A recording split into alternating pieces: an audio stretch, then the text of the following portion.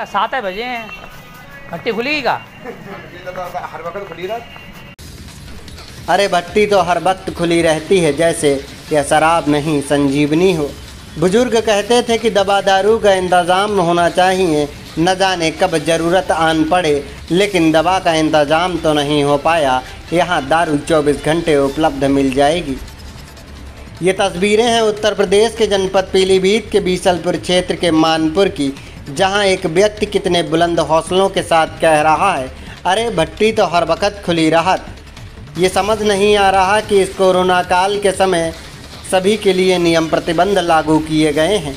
उसके बावजूद सुबह सात बजे ब्रह्म मुहूर्त में ठेका देसी शराब किसके आदेश पर खोली जा रही है?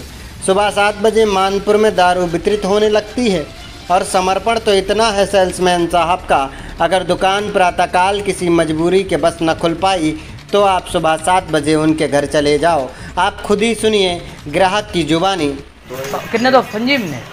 बहुत लंगड़ा हुआ संजीव होगा मुझे मंडी को अच्छा संजीव लोड़न दो। होगा मुझे मंडी को अच्छा संजीव लोड़न दो। होगा मुझे मंडी को अच्छा। तो सुना आपने अब 24 घंटे सेवा में तत्पर मानपुर ठेका देसी शराब के सेल्समैन की तत्परता को देखकर लग रहा है।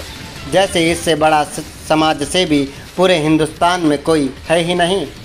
प्रधानमंत्री को मानपुर के समाज सेवी जनता की सेवा में दारू उपलब्ध कराने वाले सेल्समैन को तत्काल प्रभाव से दस बारह पुरस्कार तो दे, देने चाहिए।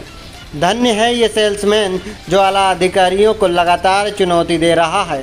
शासन प्रशासन के नियमों को तोड़कर ये सेल्समैन अधिकारियों के मुँह पर तमाचा मार रहा है। एक तो सुबह सात बजे दारू उपलब्ध कराता है, उसके बाद अधिक दामों में बेच रहा है।